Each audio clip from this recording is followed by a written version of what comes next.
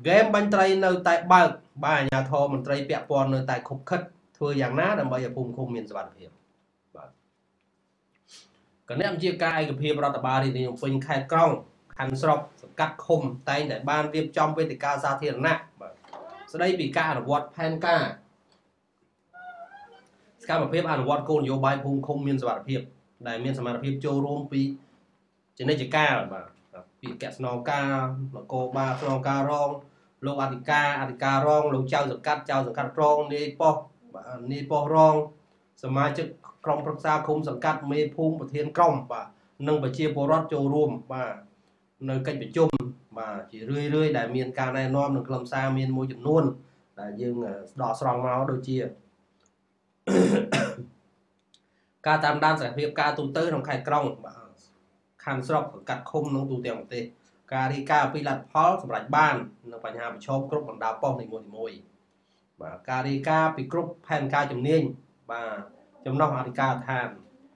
គ្រប់ផែនទាំងអស់បាទចំណុះខេត្តក្រុងខណ្ឌស្រុកឃុំសង្កាត់អធិការឋានពេលប្រជុំប្រចាំខេត្តឬសប្តាហ៍ត្រូវមានរបាយការណ៍គ្រប់បណ្ដានគរបាលខេត្តក្រុងខណ្ឌស្រុកកាត់ឃុំប៉ុស្តិ៍និងក្រុមគ្រប់ផែនការត្រូវ បញ្ជូនរបាយការណ៍ទៅសេនាធិការដ្ឋានឲ្យបានលឿនហើយដែលអាចធ្វើទៅបានបាទនឹងជាក់លាក់ពង្រឹងលើវិស័យបាទន័យថាពង្រឹងលើវិស័យនឹងគ្រប់វិស័យបាទនឹងពង្រឹងវិន័យ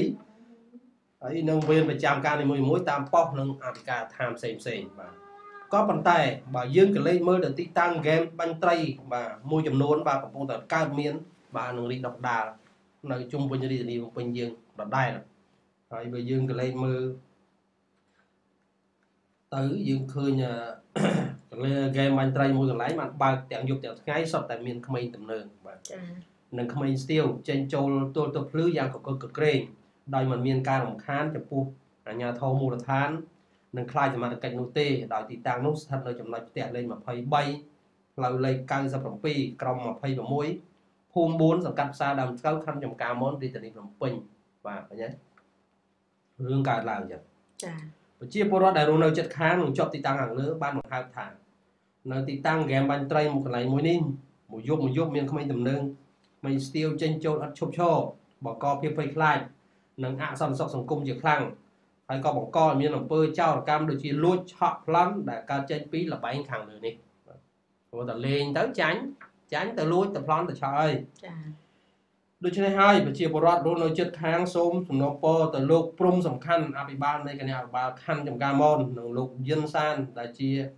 អធិការខណ្ឌនឹងការមនបាទមេត្តាមានវិធានការចំពោះលបែងស៊ីសងកែមិនទៅនៅចំណុចខាងលើនេះផង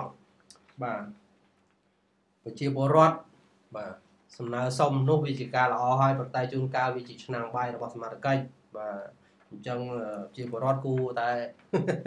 ចាយល់មានការយោគយល់ ឲ្យប្រយ័ត្នចាប្រយ័ត្នខ្លួនឯងទៅខ្លួនឯងបាទចាអញ្ចឹងយើងក៏មិនចង់ទៅឌៀមដាមវាយបហាស្អីដែរប៉ុន្តែមូលហេតុបាទមូលហេតុដែលកើតជាជារឿងចោរកម្មទាំងនោះគឺកើតចេញពីអញ្ចឹងឯងចាតែក្នុងមូលដ្ឋានអស់លោកនិយាយថាអស់លោកមិនដឹងកុំកុំមកកុហក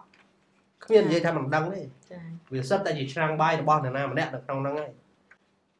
ហើយអស់លោកទៅធ្វើការគេមិនមែនអស់លោកទៅអង្គុយក្នុងអอฟហ្វិសចា រហូតអត់ចេញមកក្រៅណាគេឲ្យប្រចាំការល្បាតមានការងារជាសមត្ថកិច្ចមានទូនទីចុះល្បាតចុះពិនិត្យមើលបាទភូមិឃុំមានសមត្ថកិច្ចតកតងនឹងបញ្ហាសន្តិសុខភូមិឃុំមានសុវត្ថិភាពនោះយ៉ាងណាខ្លះដឹង